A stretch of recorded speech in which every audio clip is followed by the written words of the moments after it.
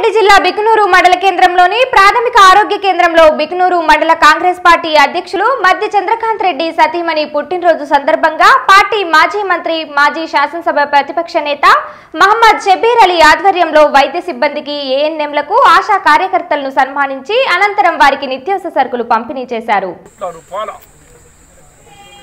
నీరు మోదీ చరస్ మోదీ ఆ మోదీ ఈ మోదీ వాళ్ళకందరికీ ఓ పద్నాలుగు మందిని కలిపితే అరవై ఎనిమిది వేల కోట్ల రూపాయలు మాఫీ చేసినట్టు కానీ మనకు ట్రైన్ టికెట్ ఇయ్యాడట. ట్రైన్ ఫ్రీ ఇయ్యాడట. బస్సులు ఫ్రీ ఇయ్యాడట. టికెట్లు కట్టాలట రిజర్వేషన్ ఛార్జెస్ కూడా కట్టాలట. ఇది ఎంత సిగ్గుమాలిన పని ఉంది ఇది? ఏమైనా బుద్ధి సిగ్గు ఉందా? కోటీశ్వర్లకు అరవై ఎనిమిది కోట్లు మొన్న చేసిన ఒక మాఫీ ఈ కరోనా వచ్చినాక.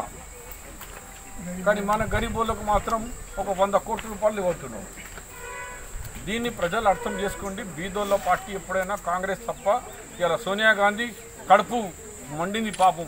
అయ్యో నా బిడ్డలు రోడ్ల మీద చచ్చిపోతున్నారని కాంగ్రెస్ ద్వారా బయటికి వెళ్ళండి టికెట్లు పెట్టండి వాళ్ళను ఆదుకోండి భోజనాలు పెట్టండి అని ఆ తల్లి చూడు ఆ కుటుంబం చూడు ఇంద్రమ్మ కుటుంబం ఇవాళ సోనియా గాంధీ బయటికి వచ్చి చెప్పింది టికెట్లు ఎవరు లేకుంటే మా పార్టీ పెడుతుంది అన్నది ఆ అమ్మకి ఎంత ఉన్నది పిల్లల మీద?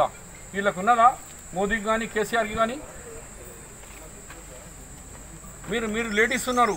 మీరు కూడా అర్థం చేసుకోండి. ఆ తల్లి చెప్పింది ఇప్పుడు ఏం పది మీద లేదు ఆమె. కానీ మీ బాధ చూడలేక బయటికి వచ్చింది సోనియా గాంధీ. వీళ్ళకు టికెట్ ఇవ్వండి భోజనం ఇవ్వండి వాళ్ళ ఊరికి పంపించండి అని. అందుగురించి మిత్రులారా ఇది రాజకీయం కాదు. కరోనా మేము మోదీ చెప్పింది కేసీఆర్ చెప్పింది అన్నీ చేస్తున్నాం. వాళ్ళ పార్టీ వాళ్ళు చేయండి మేము చేస్తున్నాం. ఆదుకుంటున్నాం.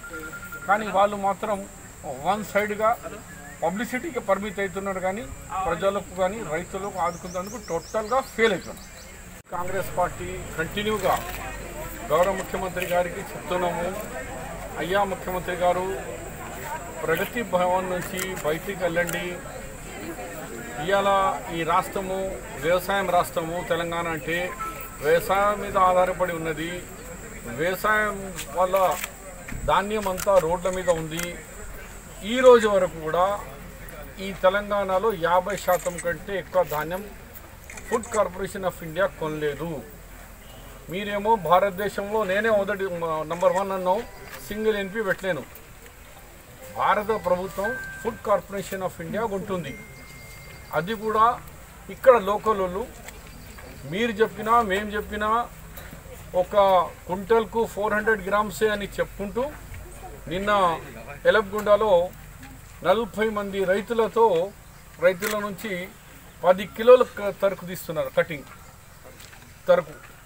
Ten KG. ఇది చాలా అన్యాయం. ఒకవైపు కరోనా అంటున్నారు ఒకవైపు పది కిలోలు ఒక క్వింటల్కు తీసుకున్న తర్వాత మనకి ఏం మిగులుతుంది? ఆమె ఖర్చుపోయిన తర్వాత ఏం మిగలదు. ఇంకా రోజు అకాల వర్షాల వల్ల ఎక్కడ పడితే అక్కడ సరుకు అట్లనే ఉంది. కాబట్టి కేసీఆర్ గారు మీరంతా అబద్ధాలు చెప్తున్నారు. మీడియా ముందు పబ్లిక్ అంతా అబద్ధాలు ఒక్కొక్క గింజ కొంటున్నా అన్నారు.